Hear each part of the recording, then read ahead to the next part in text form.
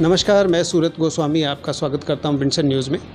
आज हम हैं ex C M Haryana Shri Bhupinder Singh Hooda ji के साथ। इनसे बात करते हैं जो अभी करंट का जो सिनेरियो चल रहा है सर जैसे एक तरफ़ पार्लियामेंट का उद्घाटन हो रहा है दूसरी तरफ़ जो आ, हमारे जो स्पोर्ट्स गर्ल्स हैं उनको हटाया जा रहा है। आपकी नज़र में ये क्या किस तरह की क्या क्या कहना चाहेंगे इसके ऊपर? आपका रिएक्शन देखिए ये प्रजातांत्रिक देश है सबको अपनी बात कहने का अधिकार है।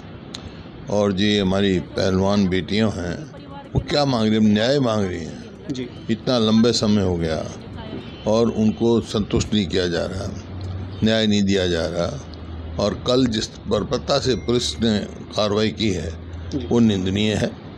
उन्होंने हिंदू देश का नाम रोशन किया है। उनके साथ ऐसा व्यवहार अस्वीकार्य है।